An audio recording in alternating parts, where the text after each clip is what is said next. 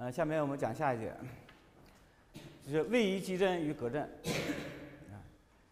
那么这个振动呢，除了有这个动荷载可以引起振动以外，那么其他的因素呢，也可能会使得结构发生振动，比如这个地震，啊，地震的时候是地面运动造成结构发生振动。我们把由于支撑运动，啊，支撑地面运动或者是支撑物的运动造成的上部的结构的运动，我们把这种运这个振动呢称为位移激震。位移激震。我们现在看一下这个位移激震的时候那个运动方程。这是一个单层的框架结构，质量呢是 m，在水平方向呢，水平方向有一个阻尼器，啊，这是阻尼器，提供呢阻尼系数呢是 c，提供水平方向有阻尼，地面发生的运动。地面呢，随着位移的、随着时间的变化规律，我们用 u_g 来表示地面运动。我们选一个参考轴，当然参考轴不动的啊。那么这个相对参考轴来说，这地面的位移我们用 u_g 表示。那么这个梁楼板啊，或者楼板，或者说梁，相对地面的运动我们用 y 来表示。那么质量的位移绝绝对位移是 u_g 加 y。这个质量的绝对位移是 u_g 加 y，y 呢是这个相对位移。我们写出来它的这个呃惯性力啊、恢复力、加速度，我们都给它写出来。质点的位移，我们假如用大 Y 表示这个质点质量的位移，yt 加 u_g。对时点对这个位移求二阶导数。得到这个质量体的水平方向的加速度，绝对加速度是相对位移的二阶导数加上地面位移的二阶导数。那么有了加速度了，那么质量体上作用的惯性力呢，我们就可以写出来。惯性力，我们用 Fi 表示惯性力。惯性力是负的质量乘上绝对加速度，把这加速度带进去，是负的质量乘上相对的加速度。再加上负的质量乘上地面运动的加速度，是惯性力。那么这个 它有相对位移啊，这个质量体相对地面有位移，这个柱子呢有提供有刚度，那么有一个弹性恢复力，我们用 Fs 表示弹性恢复力，这和相对位移有关，是刚度系数乘上相对位移 y。还有阻尼力，F_d 等于阻尼系数乘上相对位移、相对速度乘相对速度。就是说，如果这个质量体相对地面来说，如果是没有相对速度的话，就没有阻尼，因为我这个这个边连在这儿哈，这边连在地面上，是相对速度才提供阻尼。运动方程，我们把这个质量体拿出来作为隔离体。把惯性力加上去，啊恢复力加上去，阻尼力加上去，平衡的是吧？形式上是平衡的，列一个平衡方程，可以得到运动方程。把前面这些力呢加带进去，得到运动方程。就把上面的惯性力、恢复力、阻尼力带进去，得到运动方程。那么这个运动方程你一看，从形上来看，就和荷载作用下，地面不动，上面有个荷载，动荷载作用下的方程是一样的。哎，如果是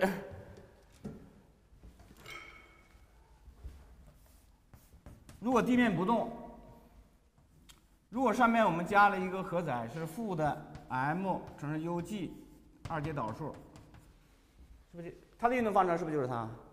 啊？那么这个在一个动荷载作用下的求解方法、求解过程啊，我们前面都已经说过了。那么它的求解是不是和前面的求解应该一样？啊，方程一样，求解方法当然就一样了。方程是一样的，求解方法当然是就是一样的。那么如果这个地面运动呢是因为地震造成的，如果这地面运动是地震造成的，啊，那么它的求解，它的求解。我们由呢就后后面还有门课呢，是吧？就是那个呃建筑结构的抗震设计，啊，地震工程啊，在这门课里边呢，再来详细的讲述呢，在地面地呃地震引起来的地面运动，啊，引起来的这个反应计算，有那个门课里边再详细来介绍。我们这门课呢就不讲了，啊，大家记住了啊，在地震工程当中，当解这个方程的时候，求解这个方程的时候，方法。和我们前面讲的方法就是一模一样的，前面讲的方法都是实用的，啊。我们不讲地震引起来的震动啊，我们讲的机器震动引起来的地面运动，那么就是所谓的就是隔震设计。那么机器开动起来以后呢，它会引起其他物体的震动，啊，你比如说我们这个教室。那么这边放了一个一个机器，叫电动机，开动起来以后呢，就引起楼板震动。那么这个讲台上放了一个测量仪器，那么由于这个震动的传播啊啊，那么地震动呢，这个机器这个机器引起的震动呢，引起楼板震动，楼板震动呢又引起来的我们这个讲台上的这个仪器的震动，是吧？我们现在要减少这个震动，要减少这个震动。那么具体方法呢有两种。一个呢是主动隔震，一个是被动隔震。所谓隔震呢，就是隔离振动。主动隔震，一个叫被动隔震。什么是主动隔震呢？就是隔离振动源，就是让这个振动呢不往外传，或者说传的少一点。我在那个机器的下边搁个机器座，搁个垫儿，哎，那么它振动起来，比如很厉害，加面下面加了个垫儿。它传出来振动呢就会小少一点，那引起我这边的仪器的振动呢就可能会小一点，这叫主动隔震，就是隔离振动源，啊，就是不让振动往外传，啊，叫主动隔震。那么所谓的被动隔震呢，就是呢不让振动传入，啊，你那个震嘛，你我楼板震吧，你愿意怎么震怎么震，我我在这个仪器的下边搁个垫儿，搁个防震垫儿，我让这个仪器振动的小一点。不让振动传入，叫被动隔震。我们下面呢，先说这个被动隔震。比如这个，就是一个啊害怕震动的这么一个仪器，是吧？啊啊，它呢，这个这是地面，由于其他的振动源造成呢这个地面的发上下震动，地面上下动。地面上下动，实际上就刚才说的这个位移矩阵了，是吧？哎，就是地面运动造成的这个物体它的振动。啊，我们现在呢目标呢要使得它的振动要少一点。我下面这个模型，下面这个啊，这是一个刚度，相当于是一个这个这个仪器啊和地面之间加了一个防震垫，啊隔震垫。隔震垫的刚度起到个刚度作用，刚度系数是 K。它要还提供一定的阻尼，阻尼系数呢，如果是 C，我们现在就要想办法，怎么让我们这个呢振动的小一点。那么这个质量块的位移呢，我们用 y 表示。注意，这个 y 呢是绝对位移，不是相对位移啊。这个 y 呢是这个质量块的绝对位移。UG 呢是地面位移。地面位移用 u g 表示，上下运动。我们写出来这质量体的运动方程，然后根据运动方程的解，根据它的振动规律是吧？我们找出来啊，这个振动和哪些量有关系？我们调整哪些量能使得振动变得小一点？我们设质量相对于地面的位移 y r。啊，注意啊，这个地方和上边那个我写那个不太一样，因为这个我对这个问题来说呢，我这样设这个表示呢会更方便一点啊。刚才那个 y 呢表示是相对位移，哎，现在我相对位移呢用 y r 表示的，在前面那个呢，这个绝对位移用是大 Y 表示的是吧？我改了一下，这个它的绝对位移是 y，它相对地面的位移是 y r，地面位移是 u g。然后跟上一页我们提出来这个方法啊一样的，我们可以写出来这个运动方程。相对位移等于 y 的绝对位移减掉 ug，y 是绝对位移，减掉 ug 是这两个，它相对于地面的相对位移 y 二。那么运动方程，我们刚才已经写出来了，刚才我们写出来了，就是这个，啊，就把我们上一页里边那个 y 改成 y_r 就行了。上一个页里边那个 y 是相对位移啊。我们这 y_r 呃上一个上一个页里边那个相对位移用 y 表示的，现在我们用 y_r 表示了，所以这运动方程是这个，这是这个质量块的相对位移的这个样一个运动方程。由于这个地面运动呢，我们刚才说了是一个机器开动起来以后造成的，哎，那么那机器开动起来呢有那个离心力是吧？离心力相当于是简谐力。那么造成地面运动呢，也是一个简谐振动的，也是按简谐振动的。地面运动也是简谐规律变化的，简谐振动。这个 b 呢是个地面竖向位移的最大值，幅值。b 是最大值，是地面运动上下运动的那个最大值。谁的呢是地面运动的那个频率，实际上是相当于等于那个引起这个地面运动那个机器的频率，对不对？哎。我们把它带进去，把它带进去，啊，这是求二阶导数，把它对时间求二阶导数带进去，得到下面这个方程。那么研究这个解这个方程，我们把把把 y_r 解出来来讨论我们提出的问题呢，并不是很方便。你你想一想，如果 y_r 要是零的话，并不能说明什么，对不对？你要 y r 是零，就是相对位移是零，那你上边的振动和地面的振动怎么样？是一样的，对不对？所以呢，我们讨论我们这个问题来说呢，我们用 y r 呢来讨论呢是不方便。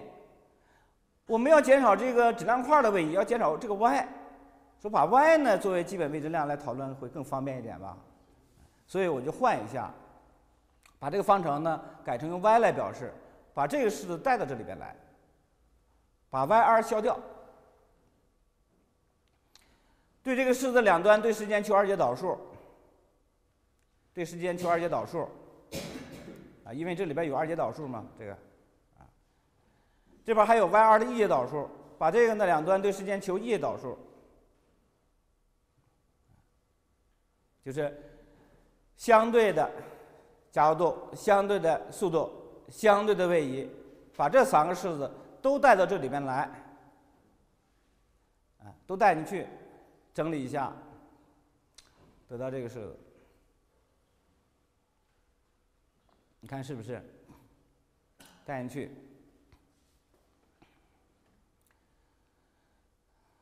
假如这个式子往这里边带吧，这个是往带带这一项是吧？应该是 m 乘上 y 的两点减去 m 乘上 y u g 两点是吧？这边有一个负的 m u g 两点这一项呢，就和把它带到这个里边的那项就消掉了是吧？同样的，你把这一项呢往这里边带，往这里边带，带呢其中一项呢应该是 c 乘 y 一点，就是这个。那么还有一项呢是负的 c 乘上 u e g 的一阶一阶导数，给提的给它写到方程的右端来，变成正的。同样的这一项是把它带进来，带进来也是两项是吧？其中一项是这个，另外一项呢是这这一项负的这项啊 u g 负的 u g 乘 k。拿到等等号右端来，所以把这三个式子呢，都带到这个式子里边去，得到下面这个方程。那么研究这个方程就会更方便一点。UG 和 UG 一点都是已知的，因为 UG 是已知的，对吧？UG 是不是未知的？它是已知的函数，所以这个等号右端是已知的，Y 是未知的。那么由这个方程的解，我们来看 Y 随着时间 t 怎么样变化。从而找出来减少 y 的这个方法。我们把这个 ug 带进去，k 乘上 ug，也就是 k 乘上 b 乘 sin c 的 t，把它对时间求一阶导数带到这里面来，得到 c b c 的 cosinc 的 t。这两项是不是可以合并写成一项？可以写成一项啊，可以写成一项。实际上我们前面都是用过的是吧？利用两角和公式，是吧？我们令它令这 kb 等于，假如等于某一个量，某一个常数乘上一个 cosine 阿尔法吧，然后 C B C 的等于那个量乘上一个 sin 阿尔法，然后利用两角和公式就可以写成一项。这样写对吗？其中 P 零是它的平方加它的平方再开方，叫 P 零是 KB 的平方加上 CB 谁的的平方再开方，然后这边 sin 谁的 d 这样对不对？应该后边还有一个相位，还有个相位是吧？那么有一个相位和没一个相位，我们来求解的时候，这个 y 要求从求求求这个 y 的最大值来说，有没有影响？没有什么影响是吧？就原来我们的荷载是 P 零乘 sin c 的 t，你说后边都加个相位，是不是也一回事？没什么关系，所以后边那相位就没有写。现在研究这个，这是方程就有了。一看这个方程和我们那个简易荷载作用下引起来的受过振动方程一样，对吧？就是一个简易荷载作用下引起来那个方程是一样的。虽然是地面引起来的，在这方程呢。就好像是地面不动，上面做一个简洁荷载一样。而这个方程的解，稳态解，我们在前面已经写出来了。它的稳态解怎么写呢？y 应该等于什么？这是简洁，相当于是简洁荷载，对吧？简洁荷载作用下，这个方程这个解是什么样的形式？就是你这个上面作用一个力。这个力呢，P 零 sin c 的 t，这是 y，yt 怎么求来的？荷载辅值作为静荷载引起的静位移是吧？再乘一个动力系数缪，啊，这是季阻尼的稳态位移。应该是 a 乘 sin c 的 t 减一个阿尔法。那么其中的 a 是正负，正负 a 呢应该是 P 零除以 k，就是那个 yst，这边是那个动力系数缪。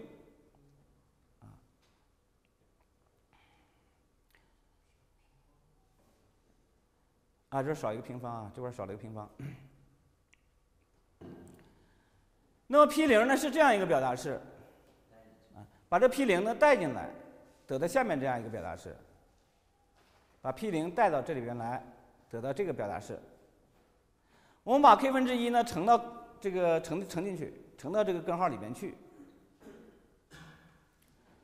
把 b 呢提出来，这有 b 平方，这有 b 平方，把 b 平方提出来变成 b，把 k 分之一乘进去，得到下面这个式子。下边没关系啊，上边这是阻尼系数 c 了哈。我们改成了阻尼比了，啊，这是这个质量块的正负，a 是这个质量块的正负，就 y 的最大值正负。b 呢，b 是那个地面运动的那个负值，是吧？地面运动是 b 乘上 sin 斜的 t，就是 UG 等于 b 乘上一个。sin c 的 t，b 呢是地面运动的最大值，除一下，把 b 除过来，，a 除以 b，a 呢是个质量块的正负，b 呢是地面运动的负值，它俩的比值我们管它叫传导比，位移传导比。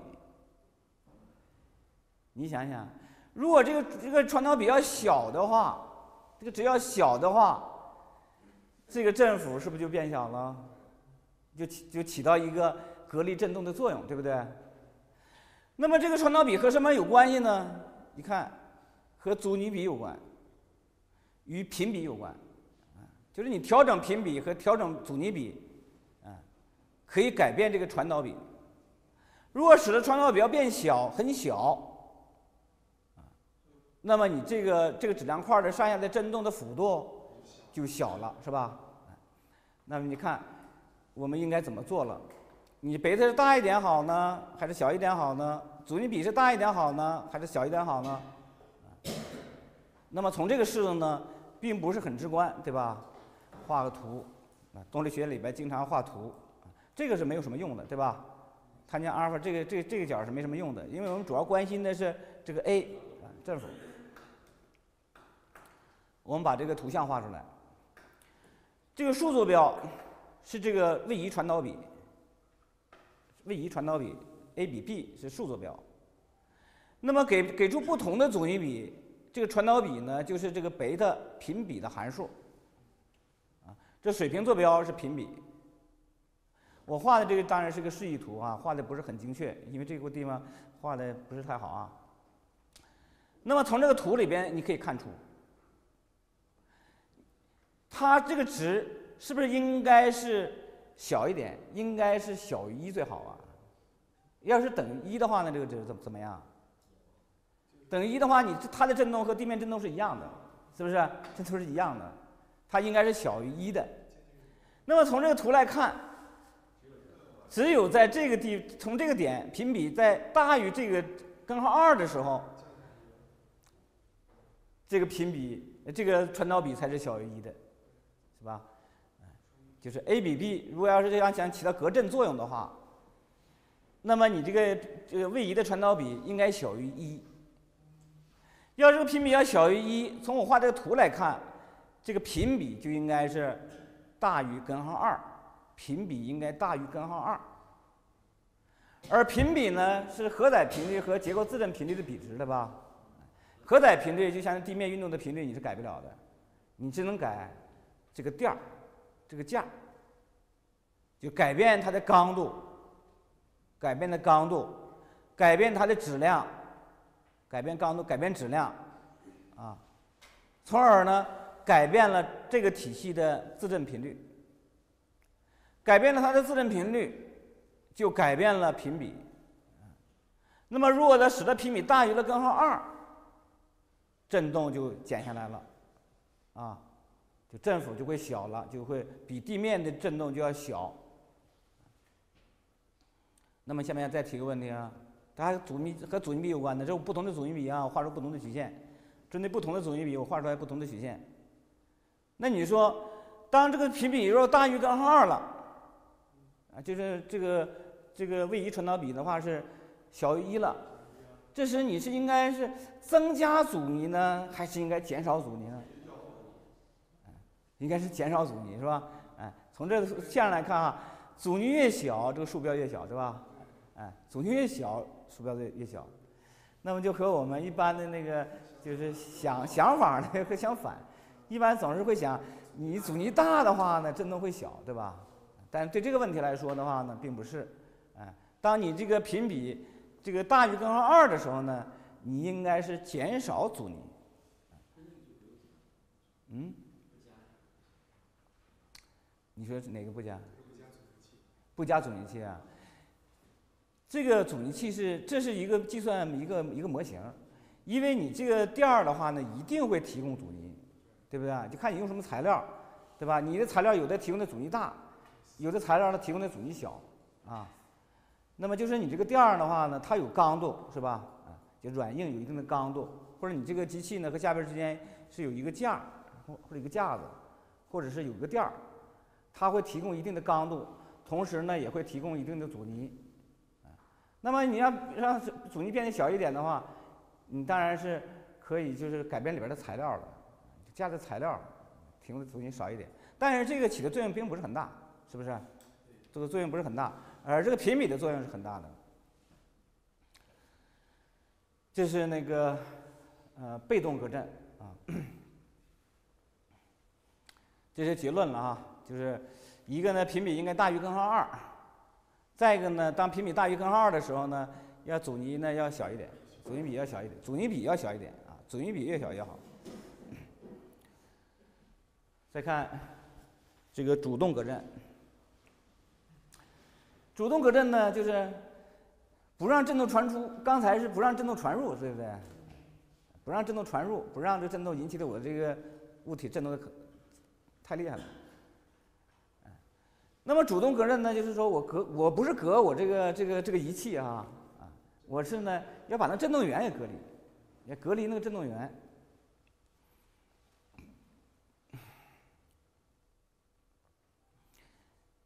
这个一个质量块，当然了，这个就是一个引起振动的机器了，啊，那么它呢会产生一个剪切力，它运动运转会产生个剪切力。这剪切力的话，这也通过这个这个机器的这个架子哈构架，或者是这个垫儿，传到地面上来，啊，传到地面上来，地面上会受到这样两个力，一个是呢弹性力。一个呢是阻尼力，这两个力要作用在地面上，就它本身要受到这个弹性力作用和阻尼力作用，反过来地面也受到这个作用是吧？地都成对出现的嘛，地面也受到这个力的作用。那我们现在要要做什么呢？要想办法让这上面的力呢往下传的时候呢传的少一点，往下力传的地面的力小一点，它地面震动就会小一点，叫主动隔震。那么这个荷载是简易荷载，啊，这个机器啊转动造成的简易荷载。那么这个质量块的稳态位移是在，因为是简易荷载嘛，是吧？单自由度体系按单自由度体系来算了，数量振动。那么这是稳态振动的时候的位移的，随时间的变化规律了。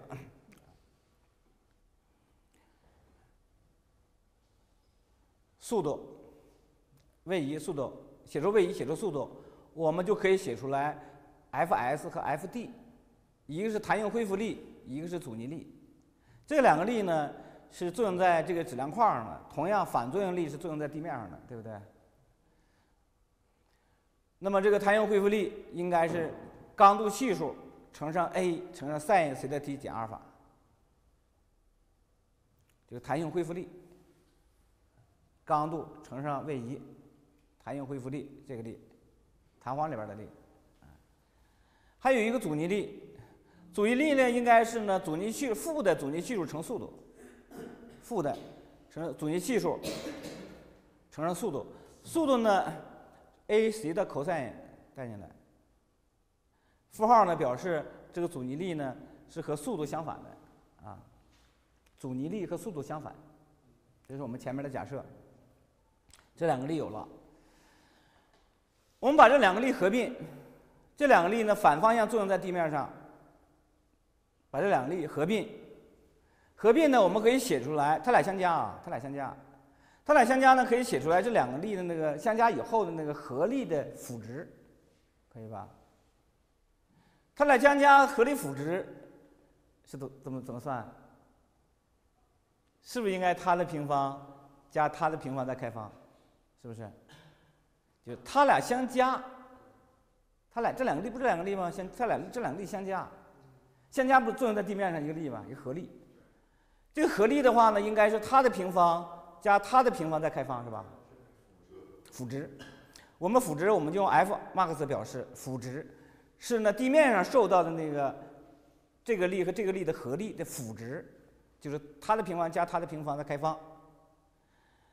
然后把这 k 和 a 提出来，得到这样一个表达式。然后我们再看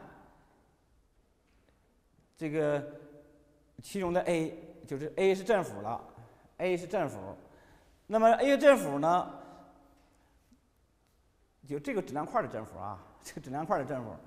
那么 a 应该等于荷载辅值作为静荷载引起来的静位移乘以一个动力系数，是吧？我们把它带到这里边来，把它带进来，把这个带到这，把这个 a 带进来，那么这个最大的地面受到的这个两个力的合力的最大值，应该等于这样一个表达式。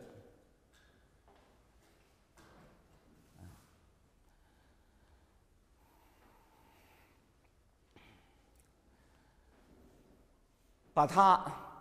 啊，缪这也没写啊，缪呢就是那个动力系数，啊，把它把这个呢带到这里，带到这呃，把它呢带到这里边来，啊，这是 A 写出来了，这是 A 这 A Y S T 这一项，动力系数这一项，然后把它呢带到这个里边来，得到这个两边都除以这个 P 零除过来。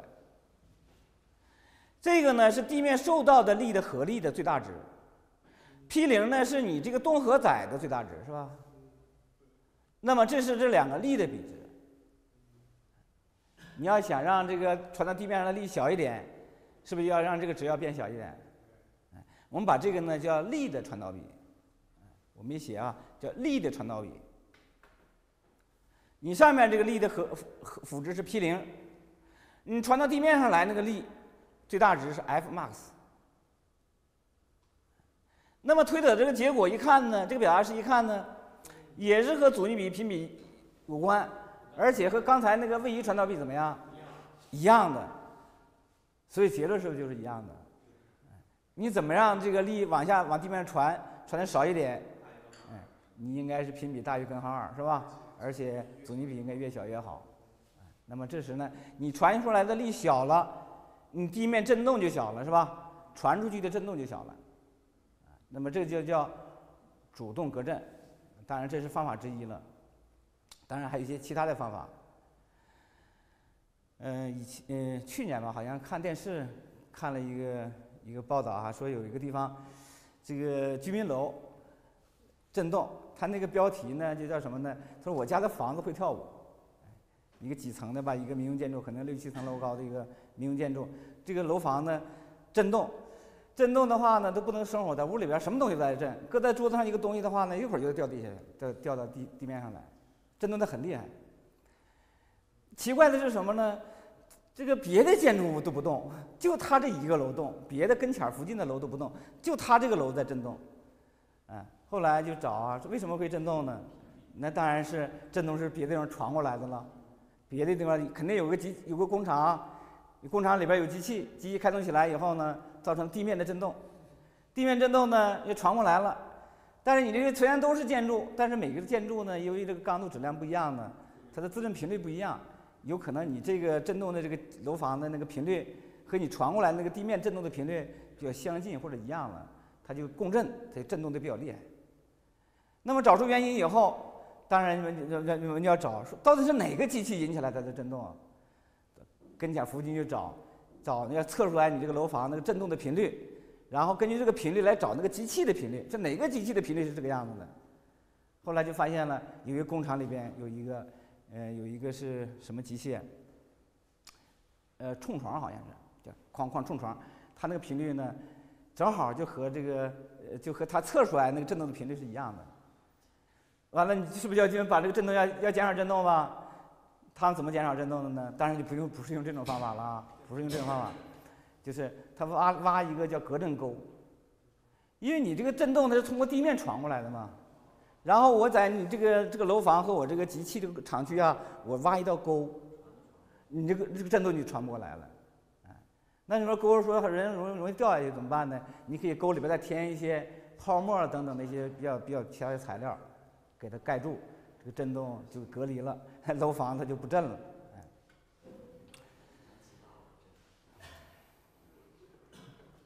按这个结论啊，就是主动隔震和被震隔震，那么呢，采取措施是应该是一样的，就是那个改变频比、改变阻尼比，那么都应该是采取同样的措施。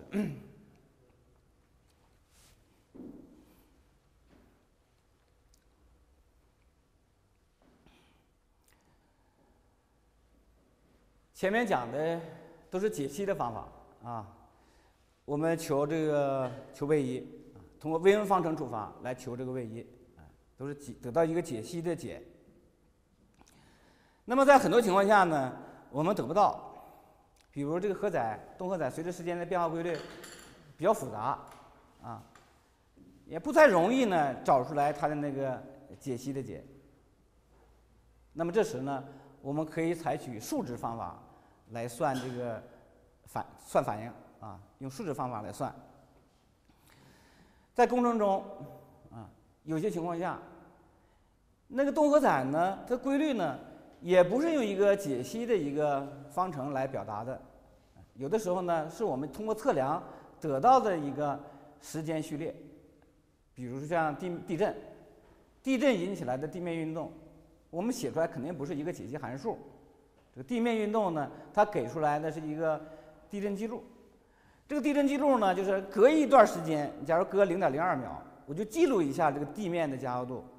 你隔一个零点零二秒，我记录一下这个地震的加速度，那个地面运动的加速度，就得到一条地震记录。它这个就相当于动荷载了啊，它也就是用数值给的，并不是一个函数。那么在这种情况下，你必须还得是用这个数值方法来求解，不可能用解析方法。所以我们说呢，这个单独有体系的运动方程的求解方法，除了上面前面说的三种，还有一种就是数值方法。而工程中大多数情况下呢，都是采用这个数值方法来进行求解的，特别是地震分析。我这里给出来当然是一个解析的函数了啊，荷载。那么现在呢，在不同的时间点，我这荷载的这个值呢是知道的，就是在 t 零这个时刻，荷载的值是 p 零，在 t 一这个时刻，荷载的值是 p 一，啊，就各个离散的时间点上，荷载的大小是知道的，已知的。我们要求反应就是求位移速度加速度，对吧？要求质点的位移速度加速度，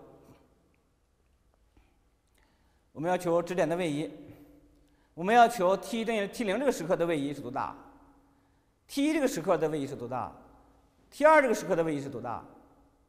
如果把这些离散的时间点处的位移如果要求出来的话，我们用一个光滑的曲线给连接，就得到了一个位移时程曲线，就得到一个位移时程曲线，就相当于把位移算出来了。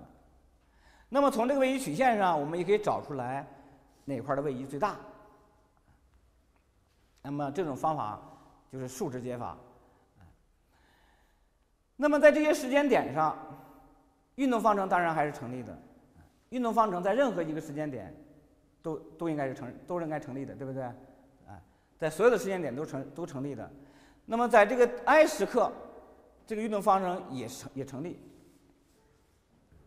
就是 i 时刻运动方程也成立。那么这个方程里边，Pi 这个值呢是已知的，它不是函数哈，是一个具体的一个常数，在 t 时刻的荷载值是知道的。那么这个 i 时刻的位移、速度和加速度，我们是不知道的，我们是要求的。啊，这是一个这是个代数方程啊，这是个代数方程。这是 i 时刻的位移，这是 i 时刻的速度，这是 i 时刻的加速度。虽然上面点的点儿呢，但是这不是微分方程，这是一个代数方程，是不是？是微分方程吗？这什么方程？代数方程、微分方程？是代数方程，啊，就这几个四个量，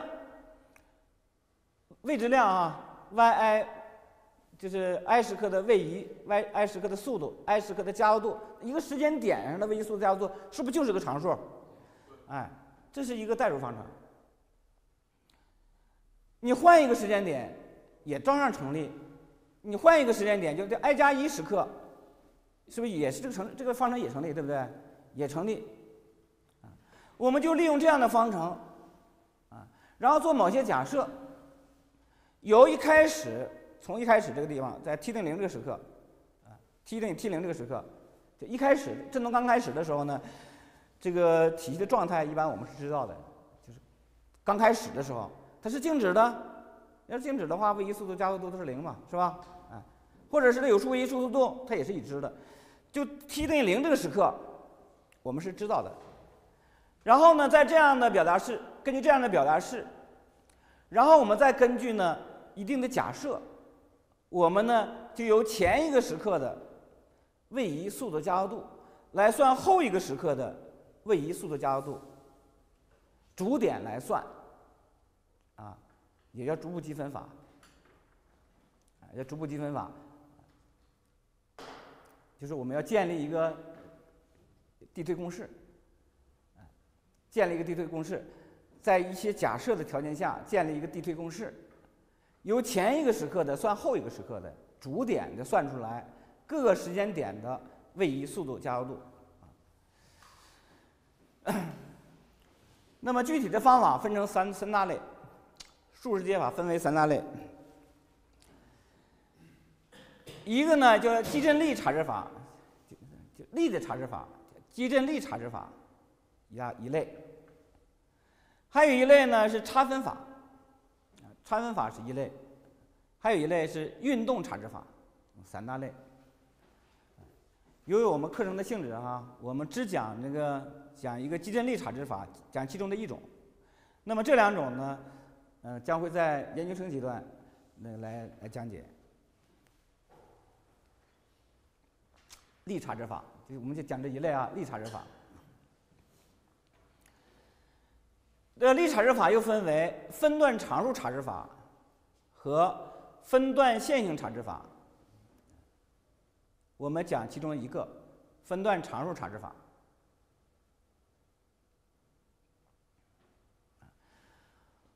我们把这个这个数值经数值方法的这个思路，我们再说一下。我们目标先说一下啊，目标刚才说过了，再说一下啊啊。我们目标是什么呢？我们目标是从 t 等于零这个时刻开始，t 等于零这个时刻呢，位移速度加速度是已知的。然后呢，我们推一个递推公式，由前一个时刻的算后一个时刻的一个递推公式。啊，因为这个递推公式的建立的不同，就分成了不同的方法。啊，就递推公式的。建立的不同，会得到不同的方法。现在呢，我们就讲的那个是分段常数查值法。我们要推导一个递推公式。现在 T_i 时刻的荷载值是知道的，大小是 P_i，是 T_i 时刻的荷载。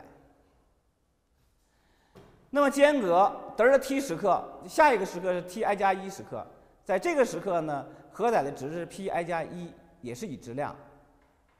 也是已知量。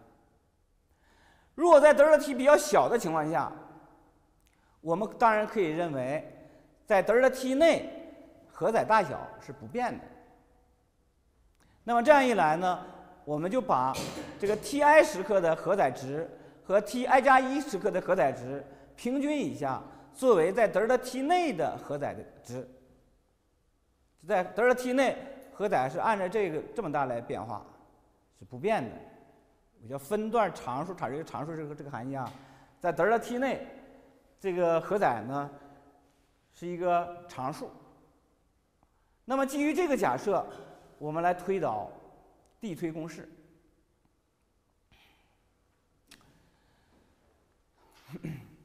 我们在这个德尔塔 T 内找一点，这个点的时刻呢是 τ 时刻，在 τ 时刻。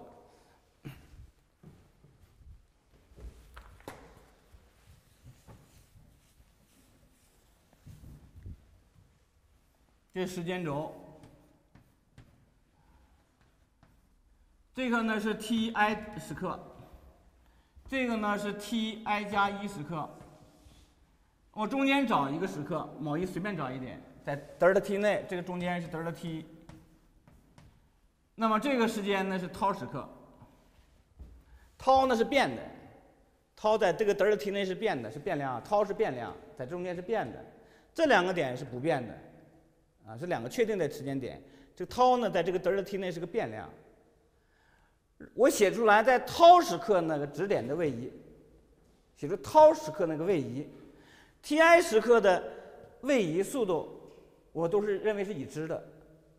我们由 ti 时刻的位移速度我们来求下一个时刻的由这个时刻的来算下一个时刻的。怎么算呢？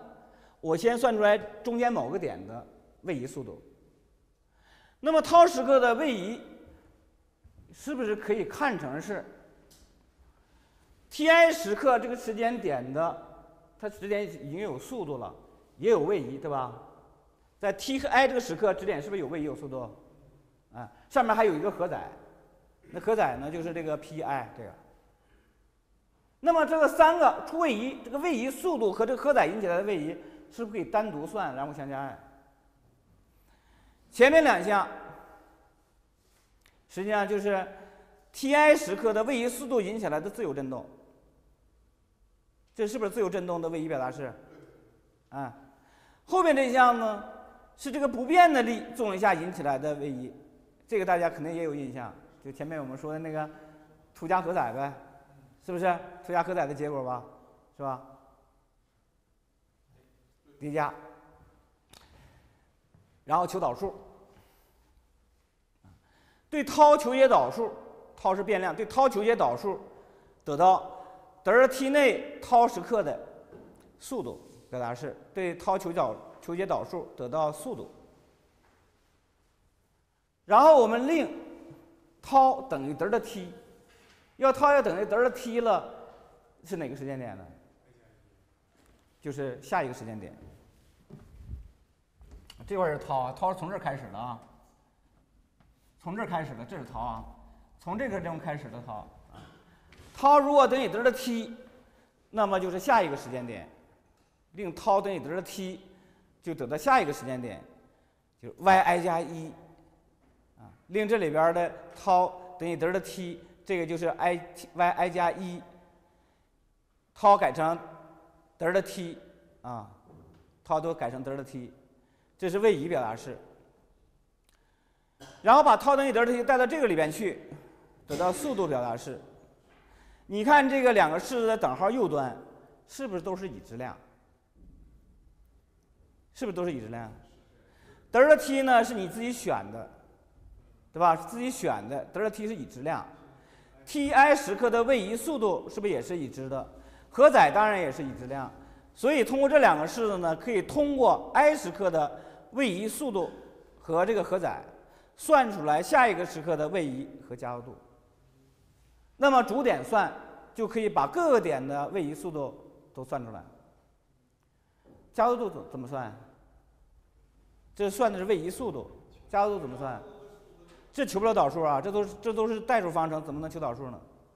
这是代数方程啊，求不了导数。加速度怎么算？有运动方程来算吗？运动方程里面不就质量乘加速度，加上 c 乘上速度，加上 k 乘上位移等于荷载吧，是吧？你位移也有了，速度这个值也有了，就能算出来加速度那个值，是吧？加速度就可以算出来。这样的主点就可以把所有时间点的位移、速度、加速度都算出来，然后在坐标系里面描点，就可以画出来位移、速度、加速度的时程曲线。从这曲线里可以看出来这个振动的规律性。啊，就可以找出来这些量的最大值。那这种方法呢，就叫分段常数差值法。后边我们将会留个作业啊，就是用这种方法呢，让大家来算一个结构。啊，这堂课我们就讲到这儿。